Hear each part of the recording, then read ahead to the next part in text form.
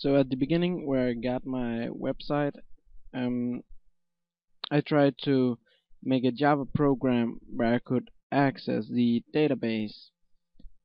Um, so I could, um, for instance, use all the stored uh, login information and login through my database using a Java program. I tried some things out and connecting to the database, but I kept getting errors and saying that I just couldn't connect. So I wrote to my um, web hosting and asked why I couldn't do that, and they said they've delete uh, not deleted, they've disabled that function so you can um, access it through external uh, external uh, programs other than the HTML in the server itself. Um, and they did that because of security reasons. Um, but I found a way to to to do that, to still do that, and I just found out. So I just made a little quick uh, a little program uh, showing it. So if you go onto my site, for instance, and click the sign up button and write your username, password, password, email. It's going to close it.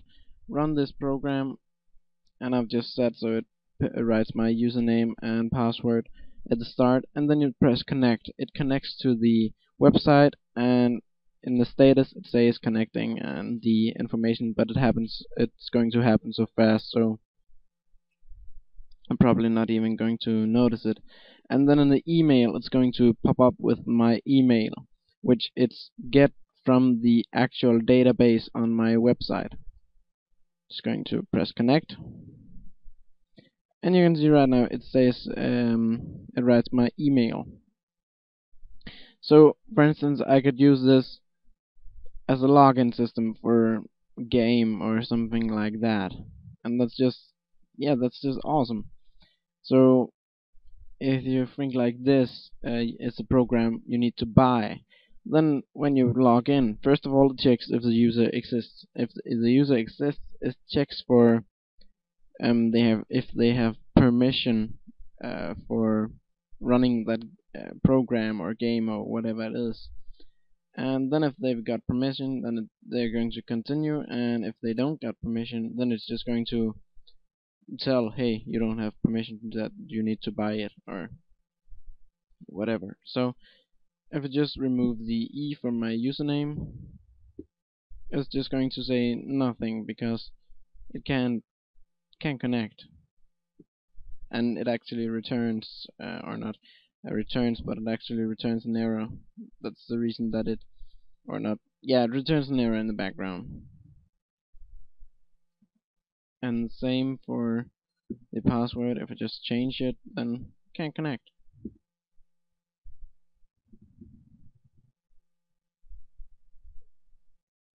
see um I'm gonna try with another user one of my friends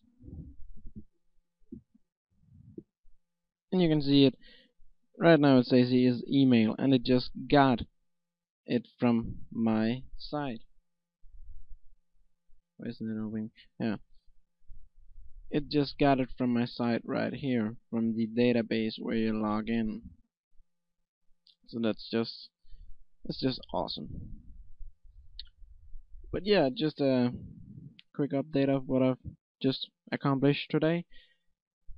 Um, and I was really excited about it, but yeah, I have nothing more to say, so see ya.